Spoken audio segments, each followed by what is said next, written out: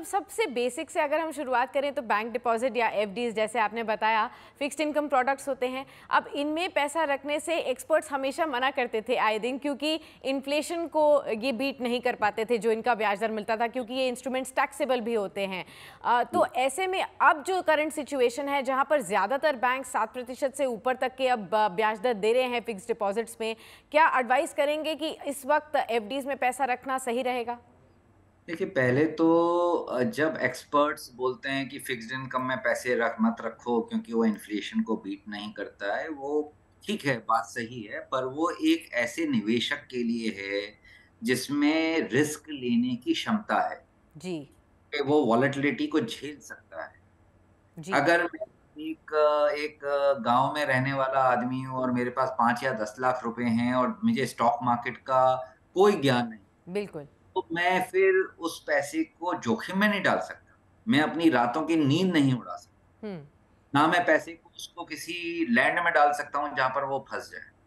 तो मुझे वो पाँच लाख दस लाख बीस लाख जो भी मेरी जमा पूंजी है जो ज़िंदगी भर की जमा पूंजी है मैं उसको एक ऐसी जगह रखूँ जहाँ पर मुझे सेफ्टी है और जहाँ पर मुझे थोड़ा बहुत ब्याज आता रहे पाँच परसेंट है सात परसेंट है आठ परसेंट है।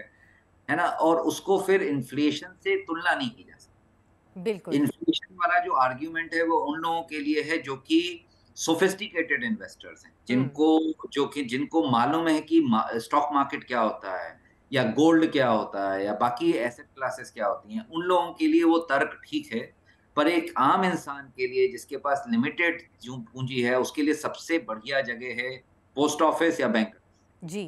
अब ये ऐसे में कॉरपोरेट एफ़ या कंपनी एफ़ क्या होती हैं? और जैसे आप ये आपने बताया पोस्ट ऑफ़िस डिपॉजिट्स क्या ये बेहतर होते हैं? इनमें निवेश एडवाइस करेंगे आप?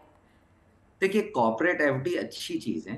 आ, ये ऑल्टरनेट मैकेनिज्म्स हैं इन्वेस्टमेंट के लिए। आज बैंक क्या कर रहा है? बैंक निवेशकों से जो उसके डिपॉजिटर हैं उनसे पैसा लेता है और वो पैसे को यू नो कॉर्पोरेट एफडीज में कॉर्पोरेट्स को लेंड करता है। जी।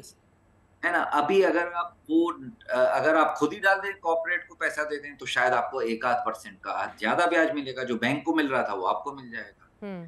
पर क्योंकि कॉर्पोरेट में आप इन्वेस्ट कर रहे हो तो थोड़ा सा रिस्क भी ले रहे हैं आप तो हम्म। इसलिए जो भी कॉर्पोरेट एफ़ अच्छी चीज़ है पर उसमें थोड़ी समझदारी की ज़रूरत है क्योंकि आपको ये देखना है कि कॉर्पोरेट की स्टैंडिंग क्या है उसकी क्रेडिट रेटिंग क्या है उसकी लिक्विडिटी क्या है तो वो बिना किसी एक एडवाइजर एक सलाहकार के उसमें इन्वेस्ट करना समझदारी नहीं। वीडियो पसंद आया तो हमें लाइक कमेंट शेयर और सब्सक्राइब ज़रूर करें।